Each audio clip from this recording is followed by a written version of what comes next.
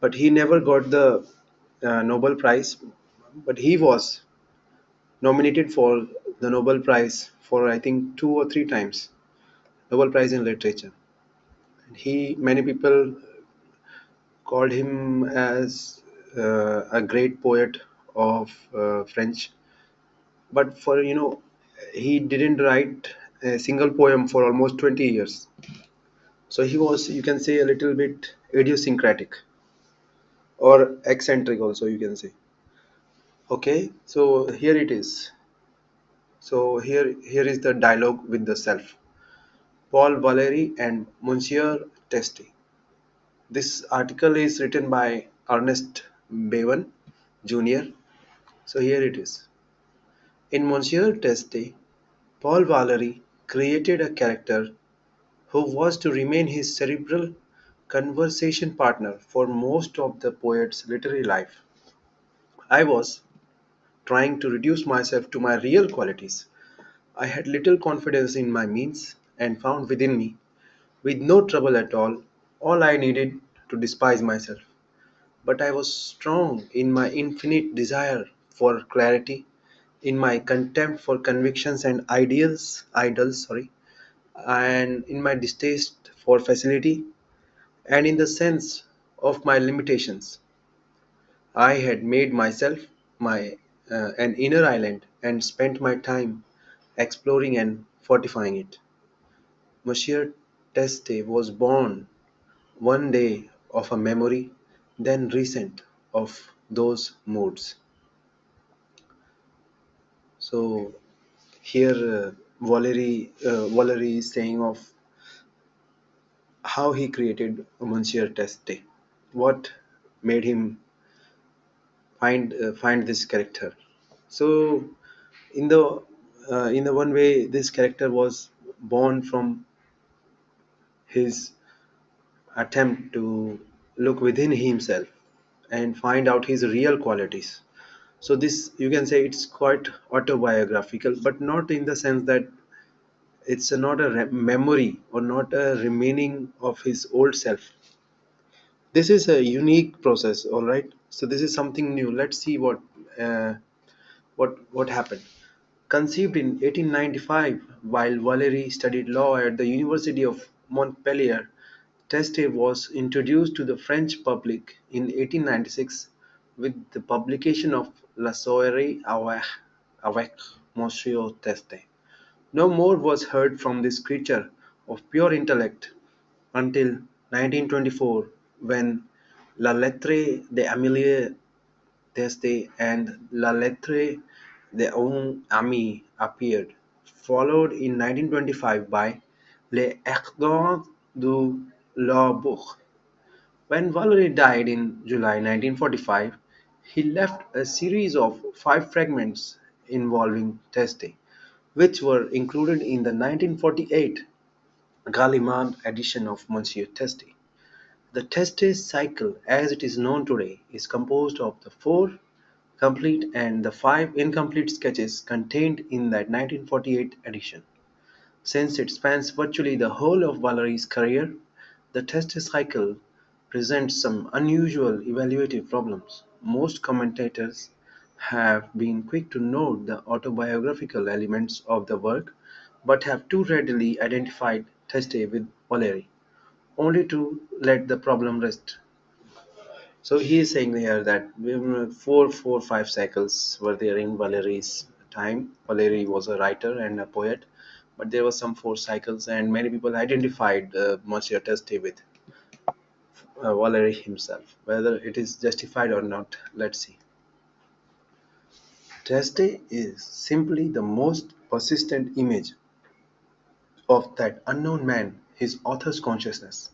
But since Teste was also a vehicle for Valery's exploration of his own consciousness, and since that exploration was a lifelong process, one might reasonably expect that Valery's discoveries would serve to alter his vision of Teste.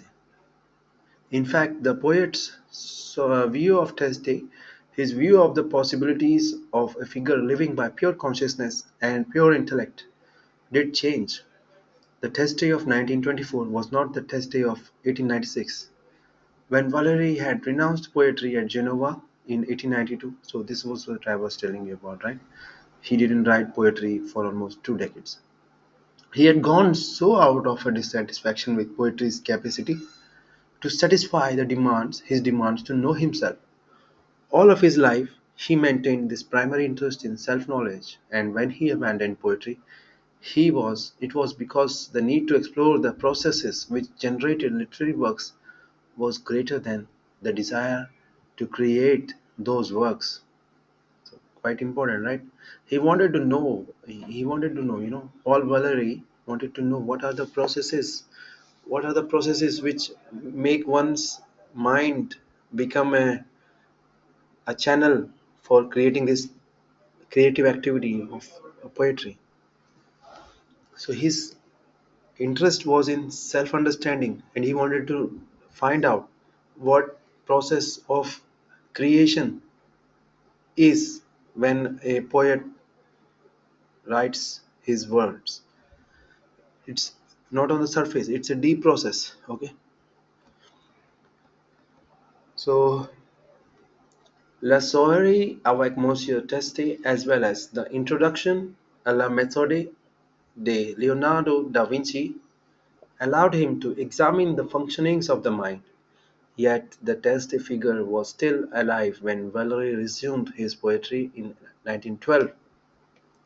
So from 1892 to 1912, he didn't wrote a single poem.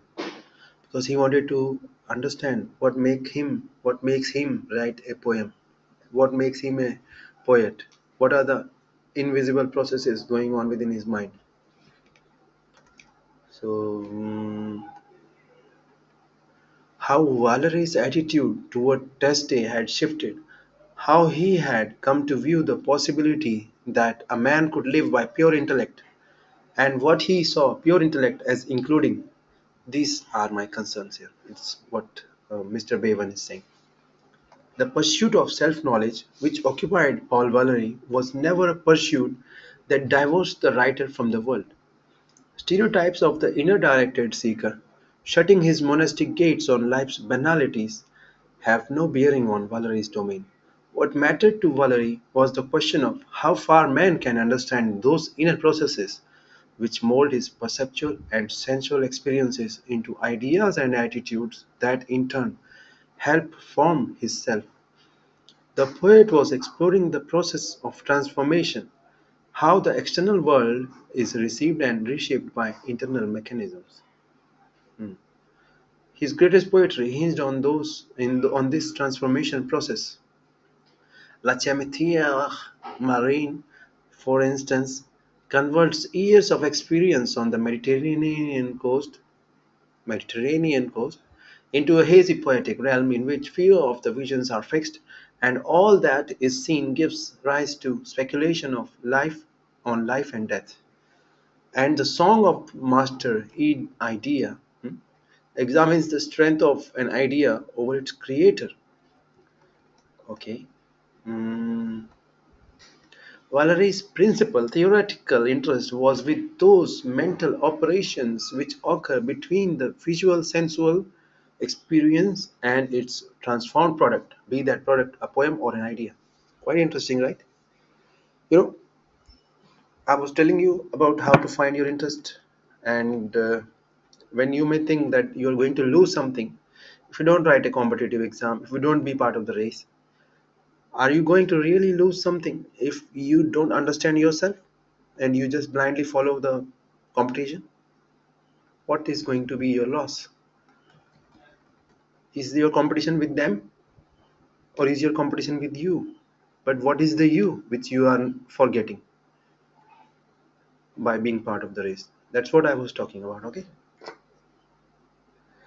the narrator considers Teste a person whose mind seemed to transform to its own use all that is a mind that performed everything suggested to it in order to portray Teste believably, Valery places him in a social context and looks at him from several angles.